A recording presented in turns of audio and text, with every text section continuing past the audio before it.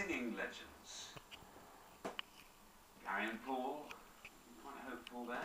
Can you all decide in your pairs who's going to go first and who's going to go second? And whoever's going first, please step up to the podium.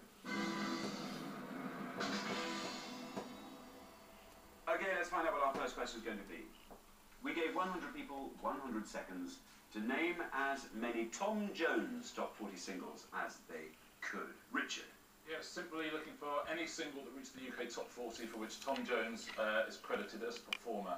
There are 36 Tom Jones top 40 singles, 36 of them. Okay, Betty and Steve, you all drew off for the show today. You get to go first. Steve, Tom Jones, you a fan of Tom Jones? I like some of his ones, yes. Yeah, um, I think he's better now. He's let his hair go natural. Yes, you I couldn't agree more. Couldn't agree more. It was, it was eerily dark for a number of years. Yeah. Anything leaping out to you as a really good obscure Tom Jones single? I'm thinking from the 60s, What's New Pussycat? Very good. You're hoping to score as few points as possible with that answer. Let's put it to the test. Let's see how many of our 100 people said, What's New Pussycat?